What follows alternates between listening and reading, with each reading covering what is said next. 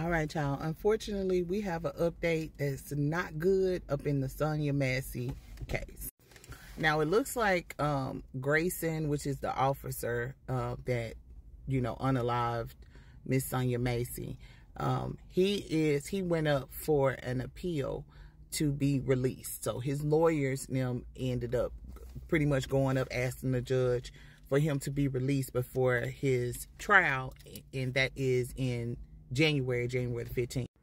Now, um, he he's still being charged, but it looks like the appellate court has approved his release. And as we speak right now, they're setting up his stipulations on what he can and cannot do.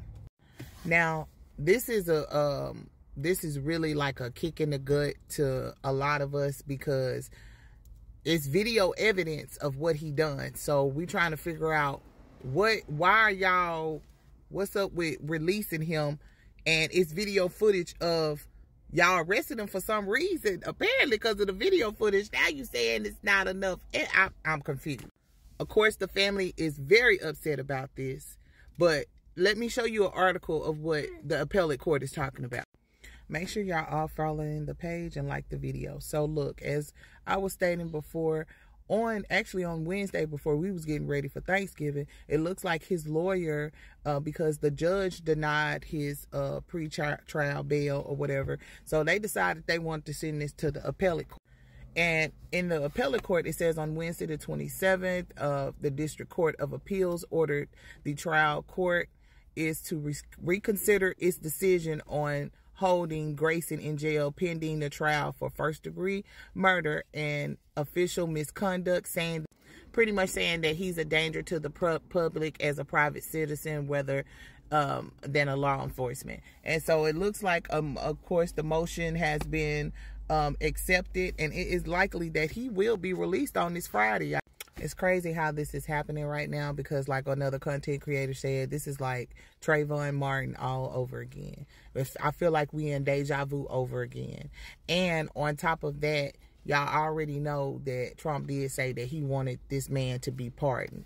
So it, it looks like that he's going to be released for his pre-trial. And again, the trial is on January the 15th. Of course, the family is very, very upset about this. So y'all already know what we got to do, right?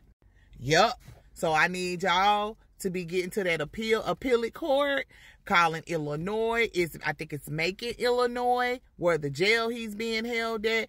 It needs to be some pressure behind this because ain't no way. You don't get to spend Christmas with your family, sir, when you done took this woman away from her family. And that whole situation could have been de-escalated.